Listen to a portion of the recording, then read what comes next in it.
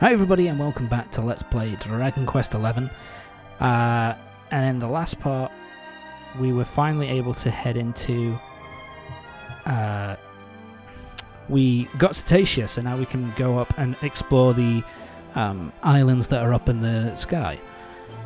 Uh, and continue on to the next story point.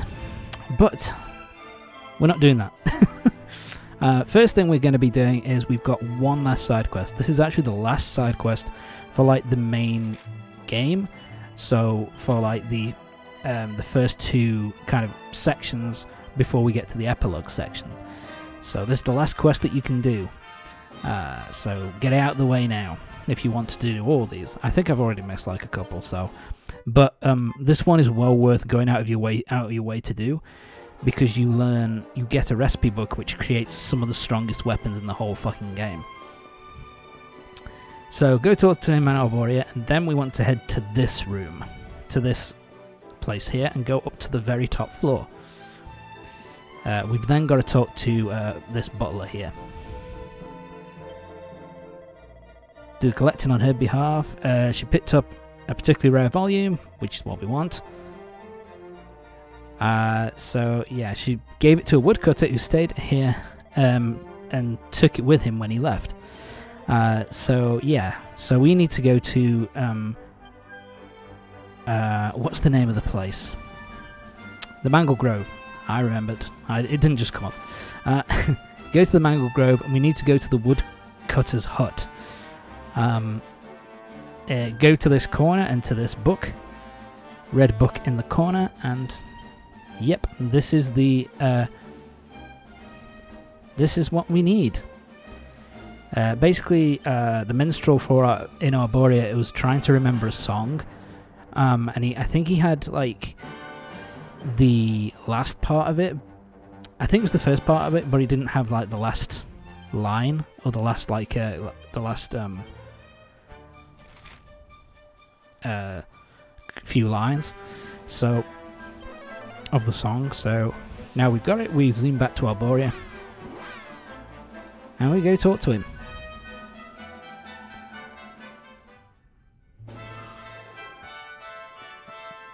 Alright, and with that, yeah, it's a really easy quest to complete. And for it, you get a really good um, item. So go talk to him and hand him the second part of the letter, the second part of the song.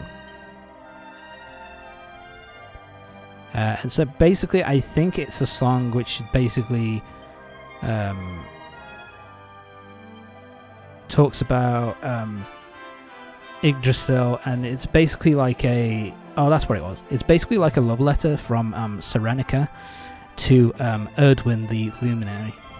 So it's actually kind of cute. that you know, it's basically a love letter written by Serenica to give to um, Erdwin, who never got it. And we get the recipe book things to do with metal goo. And what we get metal slime swords, metal great swords, metal goomerangs, metal slime spears, metal slime shields, metal slime helms, and metal slime armor. So basically, some of the strongest armor and weapons in the whole game.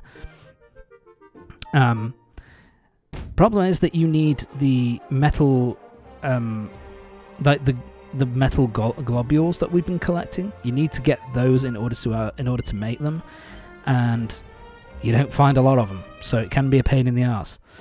Uh, and you can't buy the metal globules, I think, as materials. So if you want to create them, you've got to make a choice on what you want. Best thing to get is the metal uh, sword.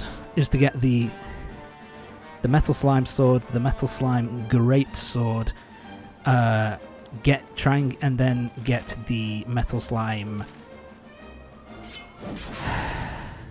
um, spear. Um, get all of those, and yeah, that's pretty much all you need at this point. Everything else is uh, kind of. I mean, if you can get, if you have enough to make the armor as well, then that'd be well worth it. But uh, what you want to get more is like get the swords and get the spear to boost um, three party members like uh, attack power. It's not really that, but yeah, it's well worth going out of your way to do that quest so you can get it. Anyway, what we're doing now? What are we doing now? so basically, there are a bunch of um, islands uh, up in the sky, and what we're going to be doing first, instead of continuing on with the story, we're going to be exploring the other small islands, which have some items on us for us to, to collect. Uh, and this is the first one, the Sniffelheim railway station. And this area is pretty good for grinding. There's some pretty strong enemies uh, uh, here to fight, and on top of that, there's also you get ice crystal, uh, sapphire, and ethereal stone. These are all pretty rare items for you to get uh, crafting materials, so it's a pretty good place to get stuff. Um, there's also a chest, I think. There's also, yeah, like a giant, uh, like frost dragon here as well, so you can get a good amount of um, experience from fighting enemies here. And we get a recipe book. What do we make? Emperor's attire and Empress's robes. Uh, they are good for. Um, they're good for Rab and they're good for Serena. So yeah, make those as soon as you can as well. They're pretty fucking useful. So yeah, is, let's get rid of the otter shambles first, which is a good pun. what am I doing? Frizzle. Kill it. There you go. there you go, Serena. Yeah, Serena's pretty fucking useful at this point because now she has all of the abilities. Um, she has all of her abilities, so she can heal and um, cast debuffs on enemies but uh, cast buffs on the party. I mean, but she also has um, Veronica's moves, so she has super powerful attack magic, as well as having the ability to um, cast debuffs on enemies as well. So she's pretty much the ultimate magic caster for this game. Now we're moving on to the next railway station. Uh, this one is the Lost Land. Uh, this is one that's completely new. This is an area that you can only only get to via the uh, above ground, because a lot of them basically are like uh, islands up in the sky, uh, which are connected to other places that we've been to, like for example the Sniffle Sniffelheim and places like that. But here, this is a completely new place that you can't access at all. This is the only way you can access it that rainbow piece of material that we got there as well is this. I think this is the only place that we can get it. Um, yeah, this has some very rare um, crafting materials like the colourful cocoons and the glimmer grass. So yeah, it's a good place to come up to. And there's a load of tockles here for some reason. Or tockle spirits in any case. Okay. Yeah, they're kind of all just climbing on up this structure. Uh, there's another thing that we can get here as well, I think. So yeah, mostly this place is for getting good materials, but there's also a chest for us to find. We have to go around the back. Uh, where are we? I'm sure there's one here. I know there's one here. Yeah, keep going. There it is. Don't make a liar out of me, game. And here we get a recipe book, Good Godly Gear. Uh, Sacrosanct Staves and Venus's Tears. Uh, the Sacrosanct Staves are uh, ones which are pretty powerful. Uh, the Venus's Tears, I think they are uh, they improve. They are an accessory which increases MP, I believe. So pretty useful to come here. Now the thing is, there's a massive keyhole that we don't have access to yet. So we can't actually do anything with this place. Just collect your shit and go. Now we're going to the Champs Sauvage railway station. Uh, yeah, so basically these places, these islands they, uh, in the sky, they're basically uh, to collect a lot of materials uh, that are rare and they're also to uh, uh, fight really strong enemies so that you can level up more efficiently. Um, now there are some enemies that you'll face which are pretty weak, but for the there are some railway stations which have a lot of really strong enemies for you to deal with, which is kind of cool. Yeah. And they have places like this as well where the enemies aren't particularly strong. Um, but basically there are a, a, lot of them that they'll keep and they'll keep respawning so they're pretty so you can grind levels pretty easily here as well we can't do anything with this yet. This is going to be right right near the end just before we go to fight the um, final boss. So yeah we can't nothing really to see on that one unfortunately. So now we're going to Gondolia. To Gondolia's railway station. Uh, something which I didn't do, which I am kind of a moron for. When at the place where you enter, you should always look behind you because there might be chests and other sparkly spots for you to get more um, uh, rare materials and stuff. So always try and keep an eye out just in case. This one, yeah, this is uh, this one I believe is just I don't think there are any enemies here. I think this is all just rare um, materials. Oh. Yeah, these things as well, which we're not going to be... We'll be finding out more about those uh, much later on, but they're really not... They're not all that much use at this point in the game. That's for later on, once we've continued the story a bit. Yeah, there's nothing else. I don't think there's anything else here. Yeah, there's no else here. Like I said, it's just for materials, basically. Let's move on. Yep, time to move on. Let's go to the Mangle Grove Whale Whaleway Station this time. I keep, keep thinking I'm fucking up. The Whaleway Station. So let's head here.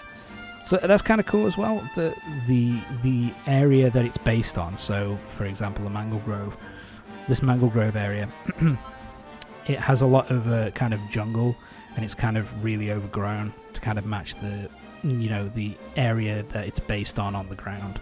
So that's kind of cool. Oh yeah, here these enemies are. Oh, these enemies fucking suck. Okay, so uh, yeah, these enemies. Yeah, this area there's a lot of enemies uh, here, which you um, this area, and yeah, the Mangle Grove Railway Station actually is really good for grinding.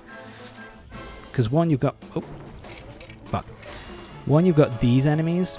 So you've got the Skeleton Knights. I can't remember what they're called. Armful. That's what they're called.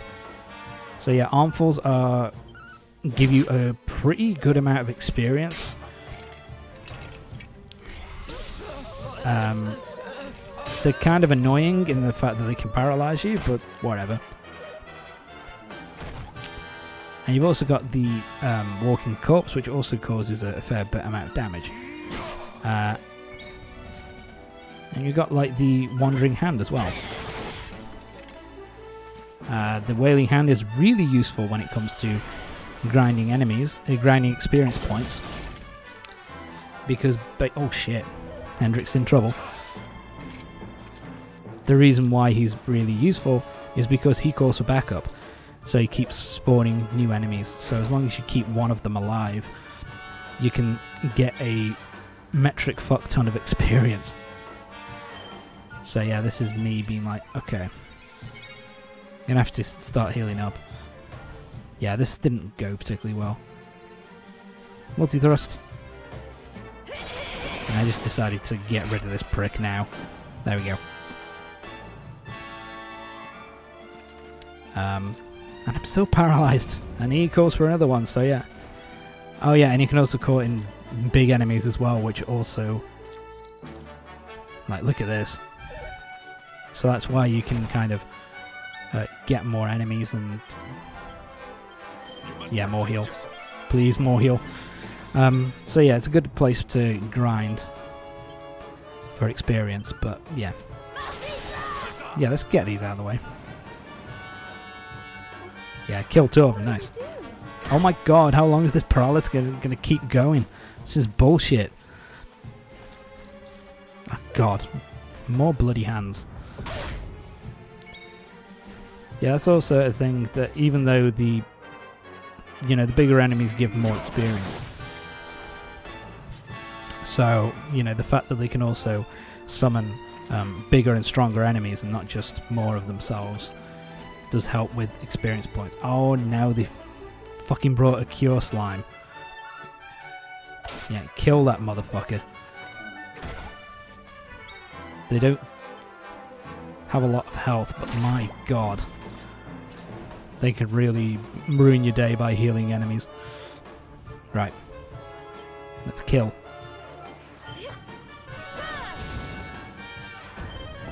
Fuck you. Oh god. Thank God. Yeah, at this point I was just like, right, I've killed the healing hands now. the healing hands are done. So I don't have to worry anymore. The healing hands are completely got rid of. Yeah, now I'm using multi-heal. Just to make sure that we're all at good health. Because this guy's boosted his attack power. Why would he try and boost his attack power again? Whatever. Yeah, Stone Guardians are beefy. They're very beefy. Oh my god, how are you still standing? Yeah. What that was was me just button mashing as quickly as possible to try and kill this fucker. And not realizing that I was uh, last move I used with um, Serena was the healing. so yeah, that was kind of dumb. So now we just got to kill this piece of shit. Serena, thank, thank you, Tom. and should be dead. There we go. And the experience points we get for that? Yeah, we get eight eight eight thousand seven hundred.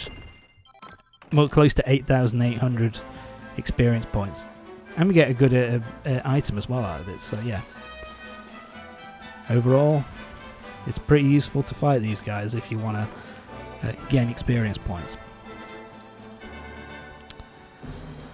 Uh, we've got one more thing, I think. I think there's one chest, and then we're done here.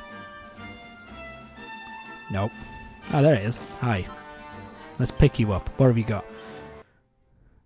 A Metarang. That is a boomerang weapon, which is not really useful to me, but it's uh, pretty strong as far as boomerangs go. But anyway, join me next time for the next part of Dragon Quest XI, when we'll be finishing off uh, exploring the islands in the clouds, and then we'll be continuing with the story. So yeah, see you next time.